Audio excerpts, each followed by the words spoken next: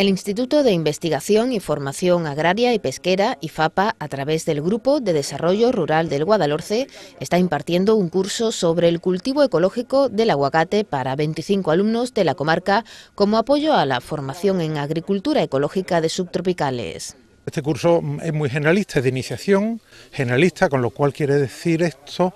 que se tratan temas desde la nutrición, el riego, enfermedades, plagas y intentamos tocar casi todos los aspectos, también comercialización, eh, normativa en ecológico también, y se trata un poquito, como te digo, de, todos los temas posibles que rodean al cultivo ecológico del aguacate, tanto los aspectos normativos como aspectos culturales. Dentro de este curso de 20 horas, en su parte práctica, el grupo de alumnos se ha desplazado hasta una explotación de aguacate ecológico en Coín, donde han podido conocer los cambios que hay que hacer para la conversión de una producción convencional a ecológica. Aparte de que es más sano el medio y la fruta, eh, yo creo y soy de los que está convencido que el aguacate en ecológico funciona mejor que en convencional si uno se puede llevarlo, ¿no? O sea, yo tengo mejor fruta, más calibre y quiero pensar que más cantidad de fruta desde que estoy en ecológico.